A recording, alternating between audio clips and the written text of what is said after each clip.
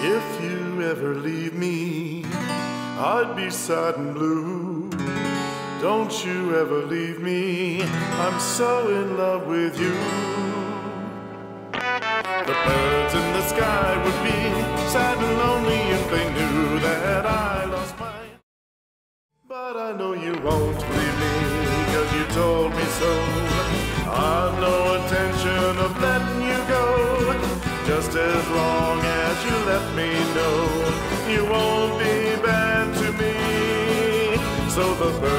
the sky won't be sad and lonely, cause they'll know.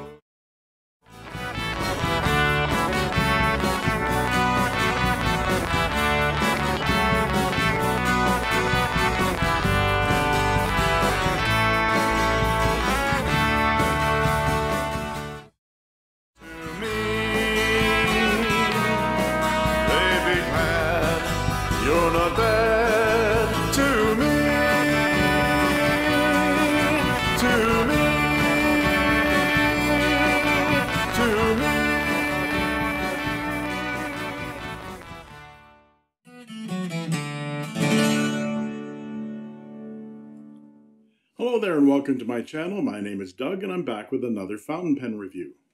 This is the last of the five Fuliwen fountain pens that Joel Turrell donated for review and to give away. Congratulations to the winners of the previous three pens. Just a reminder, you have until midnight tonight Pacific Standard Time, May 13th, 2020, to subscribe and put a comment on the fourth Fuliwen pen giveaway, the Fuliwen Orange, in order to be entered in the draw. I've purposely left this particular pen to the last because it's easily the most unusual of the five.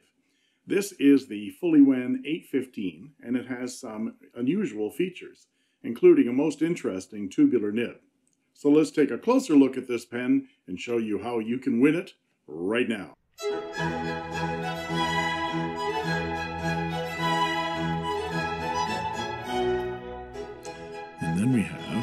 Yes, I know this pen too. This is the Fuliwen 815 Retro with a fascinating tubular style nib No. But it is interesting. and a really interesting resin. And it posts with a click. There's an interesting clip, which is on a spring, just like that. That's fascinating. Wow. I'm overwhelmed here. So that was me unpacking the box from Joel Turrell and seeing the Fuliwen 815 for the first time last March. Here it is May, and I still haven't been out of the house. That's okay, though. I got plenty to occupy me with all my pens and inks, not to mention the pens arriving on the back of a Chinese turtle. No, not that turtle. Let's take a look at this unusual pen. What I want to do today is go over the parts and features of this pen, show some size comparisons and some measurements, and then do a writing sample. And stay tuned until after the writing sample, where I'll discuss what I like and what I don't like so much about this pen, and explain to you how you can win this very pen. So let's get started. This pen is available from Bobby's Etsy store, Chinese Pen, for $8.50 US. It is also on Bobby's title page for the store. It's very stylish from the outside. This is the silver version, and there's also a version available in gold. It is a metal pen, so it has some weight to it. The finish is a brushed metal aluminum, but there isn't any texture you can feel. It might actually be, just be covered with a uh, some kind of a smooth acrylic because it is very smooth uh, to the touch. It's not like the finish you would feel on a Lamy 2000, for example. The top finial integrates the clip, which looks like it should be hinged or spring loaded. But upon closer examination, you can see that it uh, it butts up hard against that finial cap. And so there's nowhere for it to travel, even if it was spring loaded. So there's nowhere for this hinge to travel. if it was going to pivot. So that's not very practical. So it might not move in this direction very well, but it certainly moves in this direction. If you look closely here, you can see how it, it wobbles in there like that for some unknown reason. But it does move the clip side to side, and maybe you can see it damages the top of the clip as it moves, which is unfortunate. And it always seems to be not straight. Never can get it straight. The cap tapers up slightly to the barrel, which transitions from the cap to the barrel, and this short acrylic section. Now it's advertised as celluloid, but that's not celluloid. That's uh, that's acrylic resin. It's the cracked ice style resin, and it's got flecks of green, black, and pink in there, and some uh, some chatoyance to the pink elements. Some of you might like this uh, material combination. As a design aesthetic, I don't, for the same reasons I gave in the Fuliwen Orange review. However, we shall see later how this section of acrylic can have a practical purpose with this pen. The barrel continues in this brushed aluminum and tapers very, very slightly, about a half a millimeter, uh, to the end finial, which there's a step down there and this little raised rib, which is part of the end finial and part of the capping mechanism for the cap to post. The cap snaps off to reveal a short section, which is of the same material as the cap and the barrel, and a very short hooded, gold plated, well, gold colored anyway, tubular nib, and plastic feed. There are no markings on the nib itself, but it does have, it's hard for you to see, but there is an F in there on that curved plastic feed, which stands for fine, I would assume. I tried to unscrew or pull that uh, nib and feed out of there, but it just wasn't wanting to budge. It doesn't seem to unscrew. There doesn't seem to be a way to get that nib out of there, and I didn't want to uh, exert too much force on it.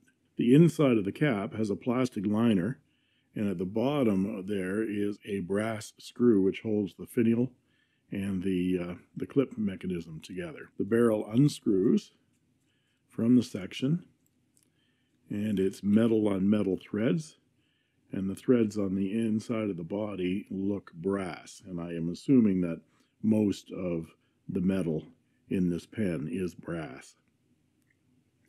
The bottom of the section has Fuliwen 815 stamped into it. It's very hard to see, but it is Fuliwen 815. The supplied converter is not standard international, but the section will accept Parker and Lamy long cartridges and two Parker short cartridges piggybacked. This converter is functionally identical to a Pen BBS uh, cartridge converter. And this converter has Fuliwen branding on it as well. It's easier to read when it's right side up. There we go, Fuliwen. And is one of the upscale converters with a little metal um, ring around the nipple, which either excites your pen or it does not. It certainly reinforces that area so it doesn't split. The cap posts securely with a snap which is really nice, but it makes the pen extremely long in the hand and very, very back heavy. That is, unless you write with a bit of a trick, which I will demonstrate in the writing sample. Unposted, the pen balances in the hand very nicely. That section is rather short and you can feel that step. But again, I've got a little trick to that that you'll see in the writing sample. Now let's look at some size comparisons. So here we are with the Fuliwen 815 next to a Moonman T1 a Faber-Castell loom, a Parker Sonnet, and a Pilot Metropolitan.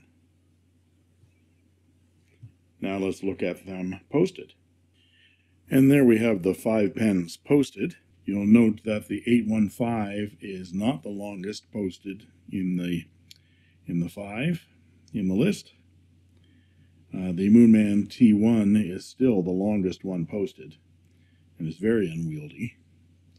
The uh, Faber-Castell loom posts very securely and very deeply, but not as deeply and securely as both the Sonnet and the Pilot Metropolitan. And of course, this nib is unlike any of these others. These having number fives, that's the number six, and this is um, a very small tubular nib. Now we'll look at some measurements, and I'll be back with a writing sample.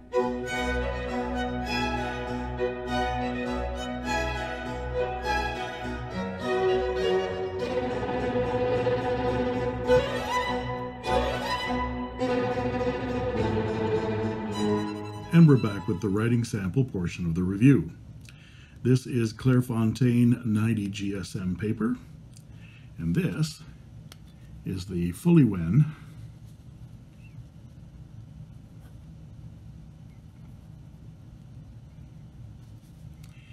eight one five silver and it has a fine steel nib. And the ink today is Robert Oster.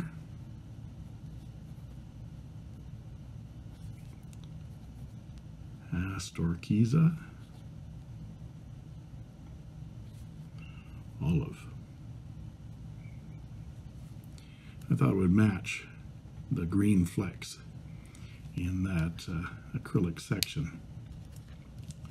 And here is the, the test card for that color.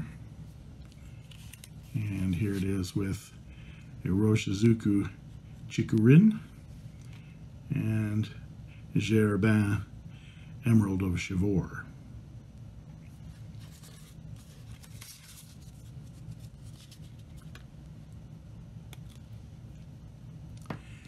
So this is a fine nib because it has an F on the bottom of the feed, but it's making a line which is somewhere between an F and an M. So it feels like it's on the thicker side of fine, um, close to a medium. Let's check the wetness. Now that's pretty wet as you can see. After I first cleaned out this pen and inked it up, I checked the nib for alignment, and the tines were misaligned to the point that they needed adjustment.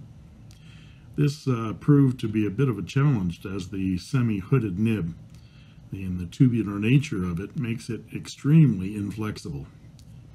I turned the nib on its edge on the paper and rocked it back and forth to try to get the nib tines in alignment. It took quite a bit of uh, gentle pushing to get those uh, tines to be uh, exactly in alignment with each other.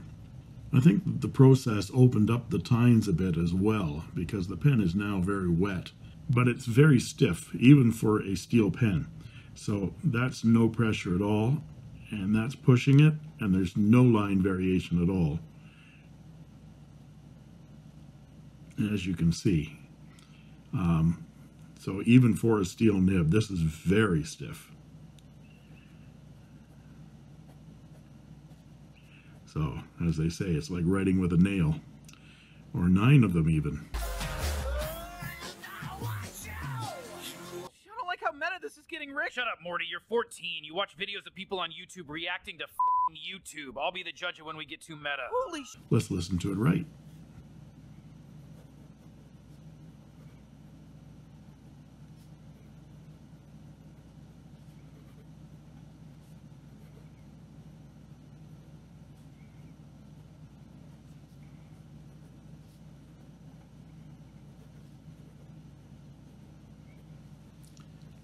So very, very smooth, very, very wet. It's actually very nice to write with. Reverse writing.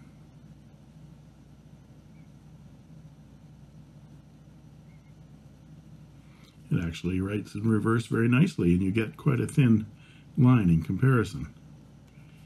So if you want some line variation, you have to turn the nib over. And for some quick writing,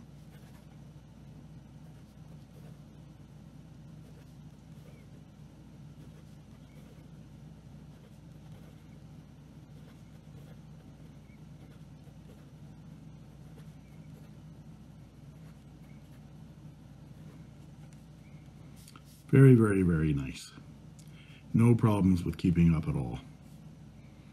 Which is good because I can't get that at that nib and feed at all to adjust it.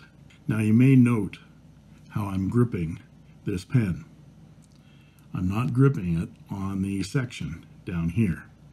I started the writing sample up here with the pen unposted and it uh, it balances nicely but that section is very small for my hand and I can feel that step on my thumb. So I thought, well, if it unbalances it to post, what if I use that center acrylic section to balance the pen? And now the pen rests with the cap just about at my knuckle and it is forward balanced and my fingers are on a very smooth, very thick um, acrylic section which actually is very nice. And so for the last couple of days, I've been writing with this pen. I've been writing with it in this configuration.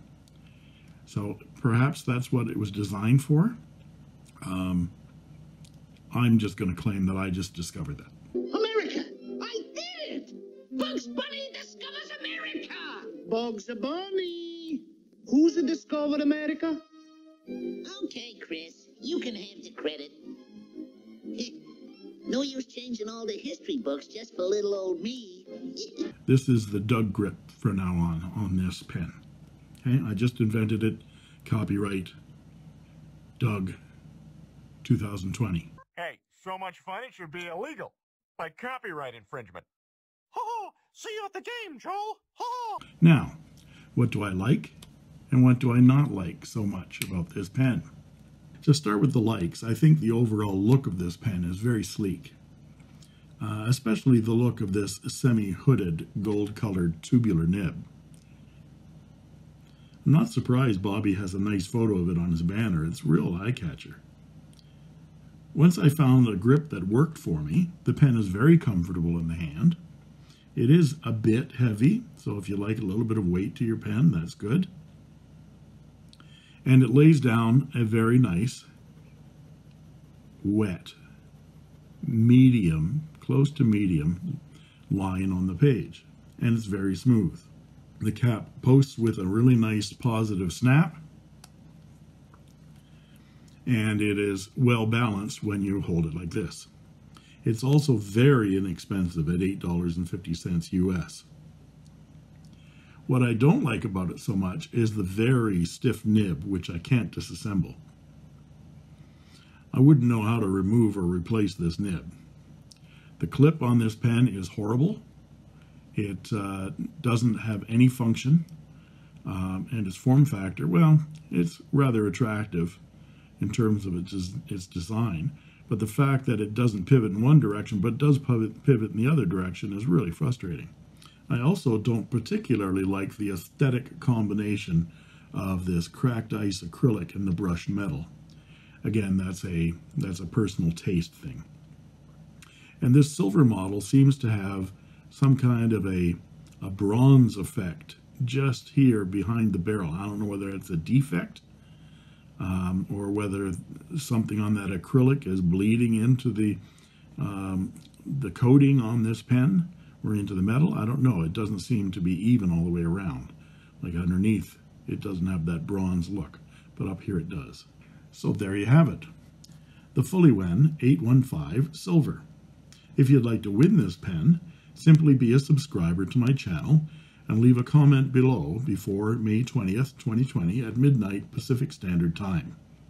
As a comment topic, feel free to name any or all of the film, television, and popular culture cutaways I've edited into this review. As always, if you like this video, please like and subscribe and don't forget to ring that bell to get an instant notification of new videos. And that just leaves it for me to say, thank you for watching.